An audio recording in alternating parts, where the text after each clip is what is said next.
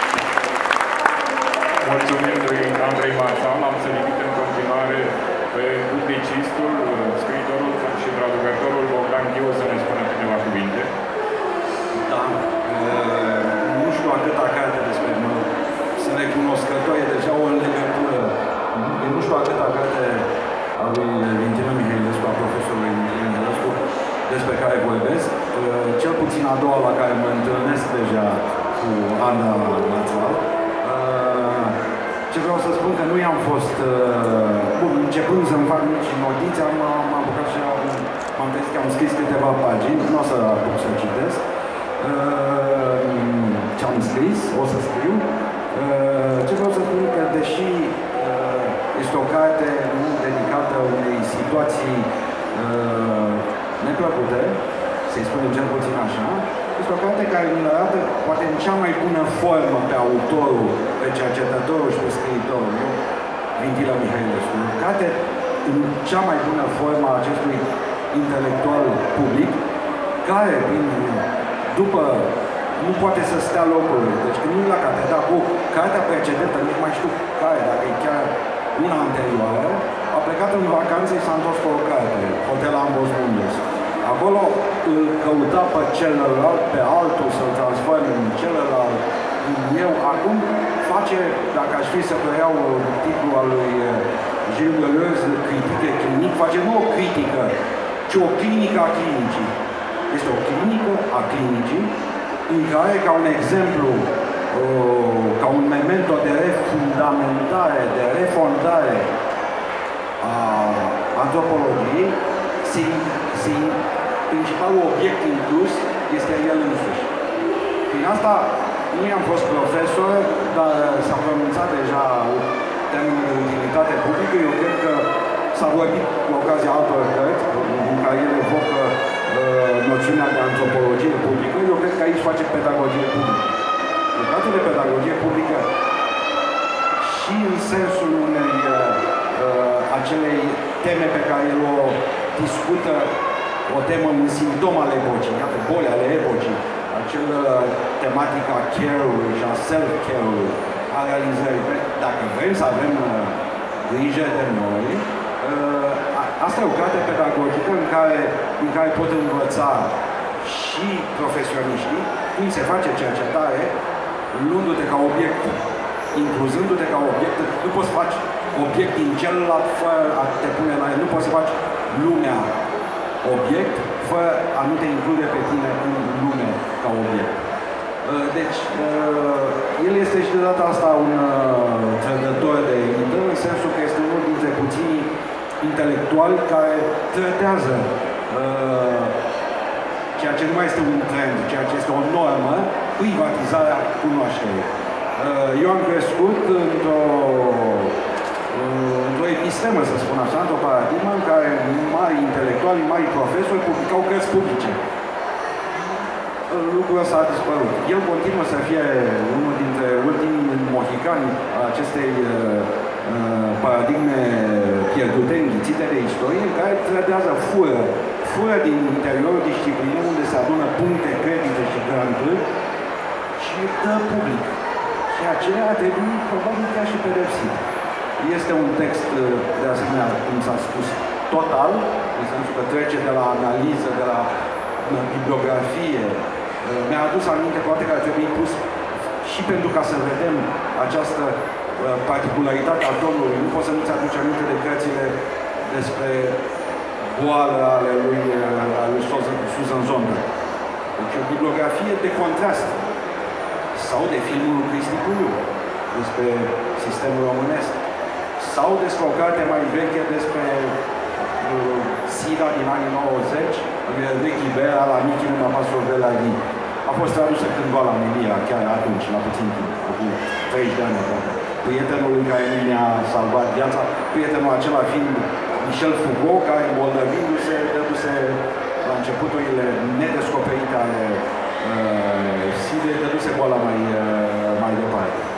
Uh, ce vreau eu să constat pentru ultim, un ultim accent, că sub acest amestec de ton uh, civilizat, care amestec în același timp tonul rigoare academică, colocvialitatea, narrativitatea contemporană, de desubt se desfășoară o, o chemare ca un destin, așa, și urmează din carte în carte, din vacanță în vacanță, uh, urmează o, se lasă absorbit uh, de parcă de fundamentele etice, pentru asta vreau să ajung.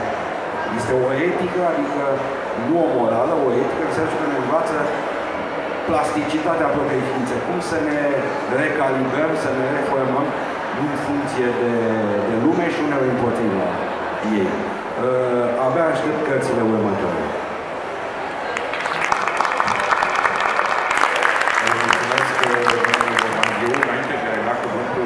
autorului, fiind să ne cerem scuze atât în numele autorului cât și al editurii, pentru faptul că de data aceasta, în mod excepțional, autorul nu va putea acorda autografe la finalul uh, evenimentului nostru. Uh, sperăm să ne înțelegeți. Înțelegeți, autorul a făcut un efort deosebit să fie astăzi alături de noi. Asta nu înseamnă că nu vă invităm, așa cum au făcut-o deja vorbitorii, să cumpărați volumul de la colegii mei de la statul editurii Polirom, care se găsește în spatele dumneavoastră la 20-30 de metri, și să citiți cartea domnului Vintilă Mihailescu. Și, deocamdată, să ne bucurăm că l avem aici alături de noi pe autor și să-l ascultăm, domnul Vintilă Mihailescu. Mulțumesc, uh, bună ziua și la mulți ani tuturor, e ziua noastră, nu tuturor, deci trebuie să ne bucurăm. Chiar nu știam de ce ați programat-o pentru iunie, acum am încep. Uh, în al doilea rând, uitându-mă la afiș, cred că am înțeles în sfârșit și eu despre ce e vorba în carte, nu? Deci, în căutarea corpului regăsit. Mă uit acolo, mai am de căutat, dar până la urmă le regăsește. Uh, vreau să încep cu uh, uh, niște mulțumiri. Uh, nu este nimic formal aici și aș vrea să nu fie interpretat nici ca ceva patetic. Dar realmente, profund sincer, uh, trebuie să încep cu aceste uh, mulțumiri pentru toți cei care uh, la începutul acestei aventuri mi-au dat, mi-au oferit cel mai darul suprem, să zic așa, darul de sânge. Sună, sună în acest caz chiar puțin patetic, dar e real. E cel mai gratuit și mai elevat, să zic, mai profund gest. Pe scurt, în trei minute am avut vreo mie și ceva de donări de sânge, când cel mai mare spital, cea mai mare clinică de hematologie din țară nu mai avea sânge. Bun, nu e aici deja o critică a sistemului, deși ar fi și asta, dar gestul pe mine m-a marcat uh, profund uh, și cum uh, bărbații nu plâng, știți foarte bine, și orice dacă cumva le se întâmplă să plângă, trebuie să se ascundă. Bun. Când am citit, m-a trimis filmul câteva sute de astfel de mesaje, după primele 10, nu de lacrimi. Ca un bărbat vașnic, m-am dus în baie, m-am muriat acolo și am început să plâng. După ce mi-am dat seama că n-avea rost, eram singur în salon, așa că nu era nevoie să mă ascult. Da? Demnitatea masculină oblige. Bun, uh, acestea fiind zise, deja poate să începe uh, miza, într-un fel, al a acestui volum, acestei povești, pentru că deja începe misterul. Ce mister? Uh, misterul este că după aceste, aceste daruri, în acest context, uh, simțind această uh, afecțiune care venea din suflet, mi s-au trezit trombocite. Adică au început să, să se suie. Uh, ceea ce sigur că metaforic știm, literar știm, starea de spirit contează. E foarte important. De acord. Și cum contează? Explicați și mie uh, cum, care e relația între uh, mesajele dumneavoastră din suflet, nu? de la suflet, au ajuns în mădăva oaselor, la propriu. La propriu. După care, după timp, am mai citit o serie întreagă de studii, că tot avem ce facem. Mă duc aminte doar de unul și nu o să insist mai mult, dar un studiu de genul acesta. Uh, care e șansa de uh, supraviețuire, deci uh, șansele de viață, să zic așa, la pacienți care au uh, o familie armonioasă, support. La pacienți care au o familie disfuncționale și la persoane singure. Uh, cred că nu greu de, de ghicit că statistic vorbind, într-o cercetare pe de mii de cazuri, cei care trăiau într-o familie iubitoare uh, aveau mai multe șanse să trăiască. Să trăiască adică să trăiască, adică o chestie foarte fizică, nu să se simte mai bine, nu să fie mai mândru. Doamne, la propriu. Corpul ăla trăia mai mult. Or, ca să traduc, uh, că iubirea. aș 3 de ani. Uh, dar uh, că este tratament oncologic, ah, asta nu știam. Și nimeni nu poate să-mi explice cum acest lucru este real. Deci cam despre asta este în esență vorba, cam asta este principala mea descoperire. Apropo de etnografie, dar în momentul în care am intrat pe ușa spitalului, spontan, inconștient, reflex, am început să să fac teren și să-mi iau deja, seara deja am luat notițe. De care, bun, să știți, în momentul în care cineva nu spune ce ai, dar te internează rapid într-o chestie unde scrie leucemia acută, ultima sută, uh, primul lucru nu este să ții notițe de teren. Dar asta a fost reacția mea, că asta știu să fac, asta am făcut. Deci acest chiar a fost un teren cu tot ce înseamnă un uh, teren. Mi-am dat seama încă o dată că, într-adevăr, un teren și aici era clar. Este un rit de, de trecere, adică cu cele trei faze. Prima fază este de dezintegrare, de, de rup, din, ieși din lumea ta, nu? Care îi aparțin. E o perioadă care se cheamă rit liminal de limită, unde ești nici așa, nici așa. Și asta e la camera de cal. E cel mai cumplit lucru, că nu știi dacă vei fi pacient, nu vei fi pacient, și ești nobody. Ești un dosar care e suspendat uh, și ești nimeni. Și uh, simți foarte bine această relație de putere. Ia să te vedem în Domnul ce face. Uh, câteodată, câteodată este exact invers, poți să ai mare noroc, ajung imediat. După care e ritmul de integrare. Cum te adaptezi, cum te integrezi în, acest nou, în această nouă lume a spitalului. Și cum a spitalului cu majusculă, pentru că nu mă interesează spitalul anume, unde am fost uh, portarul sau nu știu ce, ci lumea spitalului. Pentru că anumite lucruri sunt absolut uh, generale și general umane. Primul lucru pe care l-am făcut a fost să mă aranjez noptier.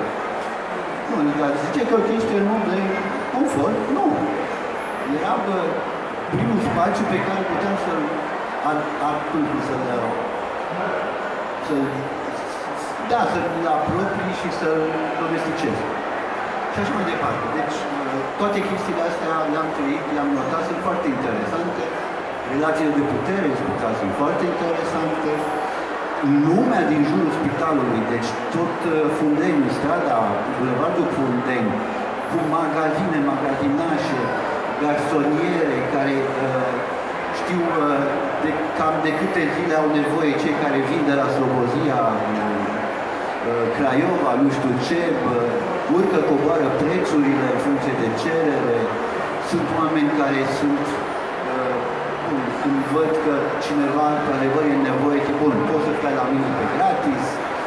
E o lume de o, de o complexitate extraordinară, cu femei care au niște magazine uh, cu obiectele exact alea de care are nevoie pacientul și care se uită la tine ce sunteți nou. Uh, am deja și stă o trusă că știe exact ăla care vine pentru prima dată acolo și abar are că va fi internat, are nevoie de pijama, de papuci, de hârtie igienică, că nu e și așa mai departe care deja trofeul făcut. Deci un lume extraordinar de, de complex. Uh, ca să închei acest uh, capitol, modul meu de a privi și nu am inventat eu, uh, am găsit multe terenuri făcute în spitale, în lume, dar mi se pare foarte corect și anume diferența între de trei registre, dacă vreți, între lege, legea generală, națională, deci care ține de sistemul de sănătate din România, de exemplu.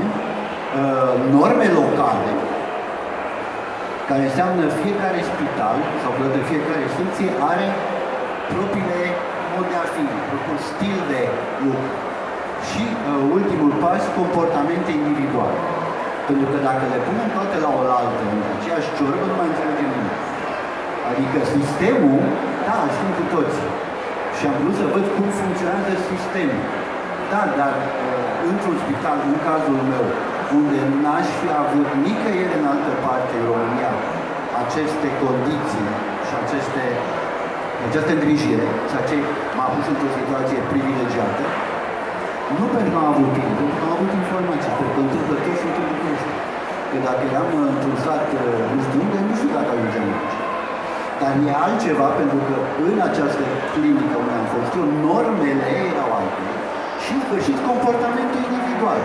Adică poate să fie sistemul vai de capul lui, poate să fie un manager, manager de clinică așa de rea, dar poți să găsești oameni, nu întotdeauna, care sunt îngeri, care îți salvează viața la propriu.